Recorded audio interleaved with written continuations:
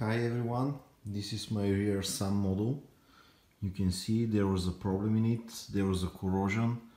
It was here and here as well and here also and I I fixed that with a little bit soldering and I implemented maybe three or four layers of, of spray which it will keep this model from uh, moisture and corrosion in future you can see it's very shiny. That's the reason of from the spray.